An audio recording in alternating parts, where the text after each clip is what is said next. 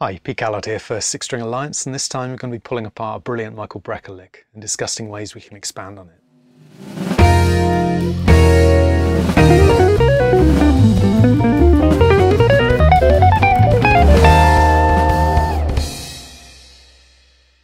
just before we check out the lick, a quick reminder, you can download the tab for all of the examples from this video for free. Just click on the link in the description down below.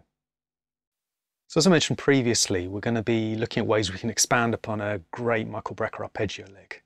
So let me play the lick a couple of times to start off with.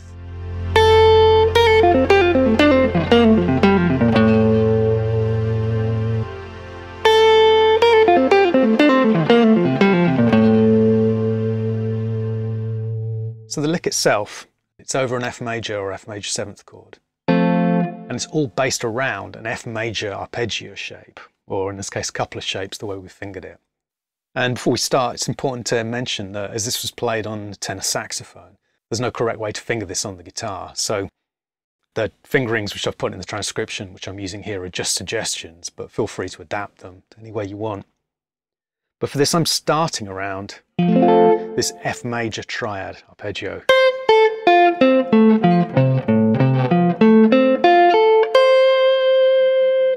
This is F major, around the fifth fret here. And we start on this A here on the fifth fret. And then go up to the B flat on the sixth fret and pull back off to the A. Then go down to the F here on the sixth fret on the B string. Then the C. Here on the fifth fret on the G string. Then we go to the G here on the 8th fret on the B string and pull off to the F on the 6th fret.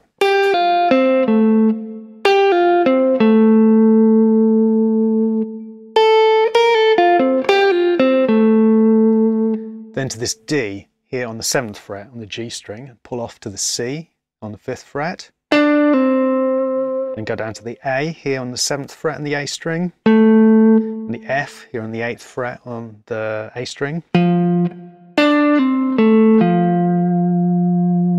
Then here there's a position shift. I mean, as I said, you know, this is the way that I'm fingering it, but there are other ways you can finger this, but this is my suggestion. So we're shifting down here to the third fret on the G string, pulling off from B flat to A. Then going down to the F here on the third fret on the D string, and the C, here on the A string, third fret. Then going up to the fifth fret on the D string to the note G, pulling off to the F on the third fret, then the C on the third fret on the A string, then to B flat here on the sixth fret on the bottom E string, then the A to finish here on the fifth fret.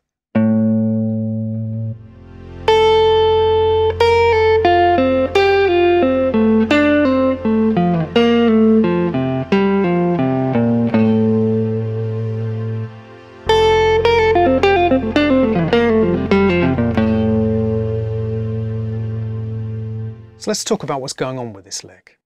Because as I said, it's based around an F major arpeggio. Based around an F major triad, in fact. So that's the notes F, A and C. That's the one, the three and the five. We're basically working our way down this arpeggio shape in groups of four. But it's the pattern about this that's interesting, which I want to talk about.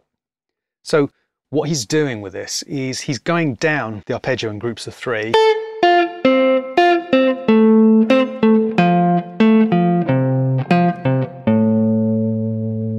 But in each case, he's starting with the note above from the F major scale.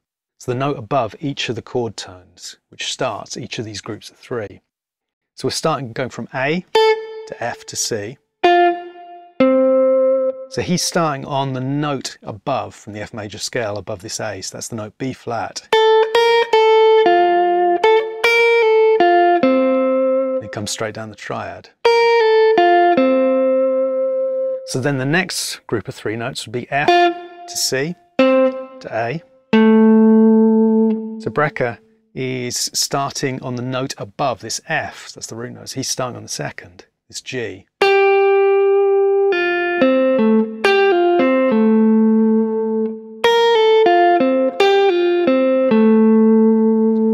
So then the next three notes from the arpeggio would be C, A, and F. So this time he's starting with the note above this C note from the F major scale, so that would be the note D.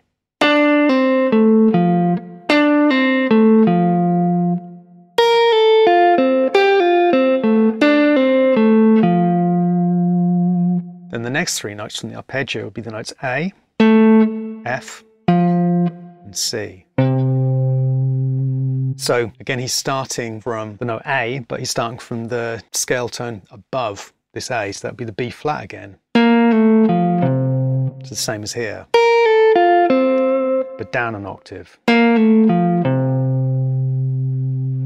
And this is actually where I shifted position, you know, it's personal choice. I shifted down to here rather than playing it here. As for me anyway, it makes the rest of this line a little bit easier to play.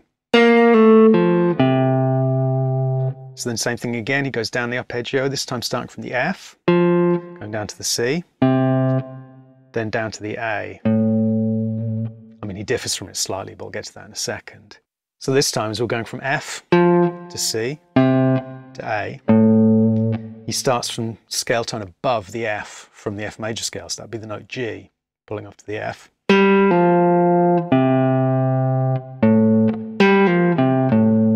Although in this case, to close the line off, he actually sticks a B flat between the C and the A. So it comes down the scale to finish.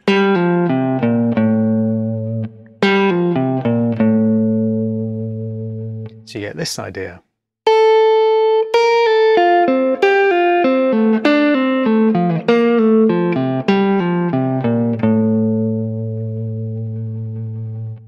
Hopefully now you can see how when I say this is based around an F major arpeggio, that's exactly the framework that he's playing around. It's just this really nice concept of going down in groups of three down an arpeggio, but starting from the scale tone above the highest chord tone in each group of three.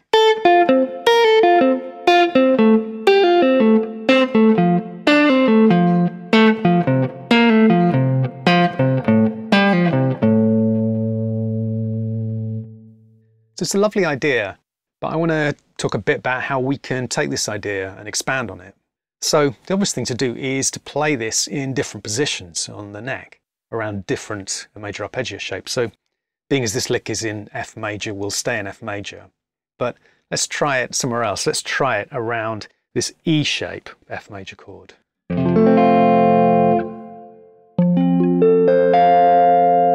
I'll play it up here, up an octave. So again,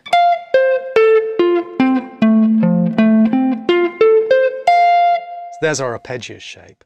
And same approach, we're going to go down this in groups of three.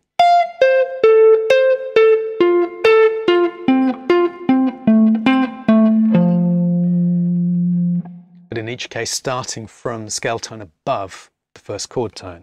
So here we're going F, C, and A. So I'll start from, again, the note above in the F major scale, which is the note G to get our four note pattern. So then the next part would be going from C to A to F.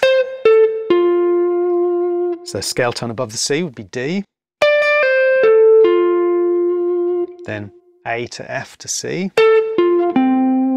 So again, the scale tone above the A is the B flat.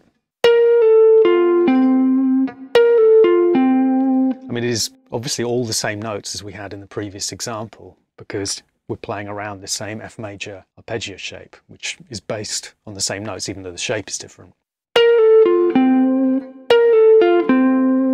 The next three notes would be F to C to A. It's the same thing, start a whole step above on this G note. Then we can go down to the F to finish it off. Let's try that over the chord.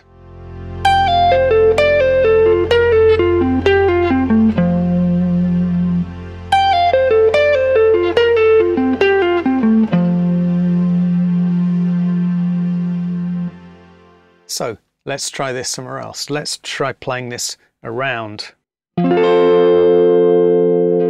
this F major shape, this A shape F major. So here would be the arpeggio shape.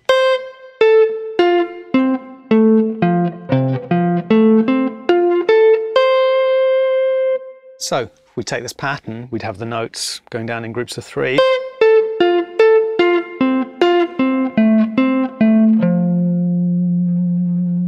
So first three notes would be C, A and F. So starting from the scale tone above, the C, we go from D. Down, then the next would be A, F and C. So the scale tone above the A would be the B flat. Then F to C to A. So the scale tone above the F would be a G. And finally C to A to F. So the scale tone above the C would be the D. Can finish down here on the C, the fifth. So we get this.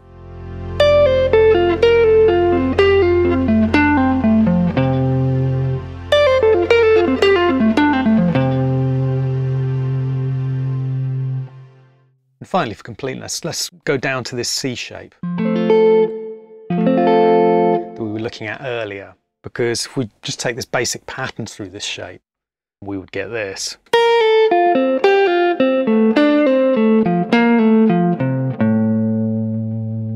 Very similar to the Michael Brecker lick, but a bit more systematic.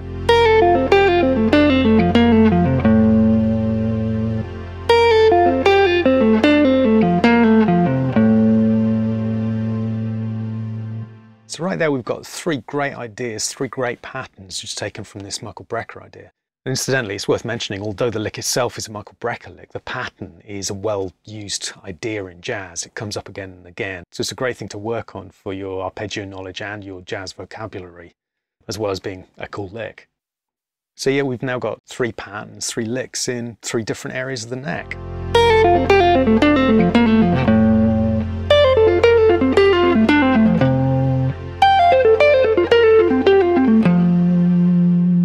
Obviously you can take this one down the octave. And this one up the octave.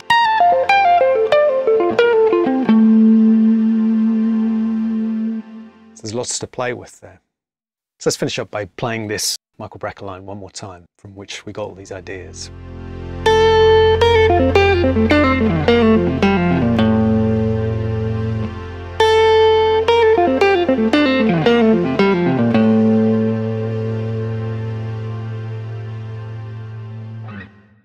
So I hope you've enjoyed looking at this brilliant Michael Brecker lick and discussing some of the ways that we can adapt and change it for our own playing.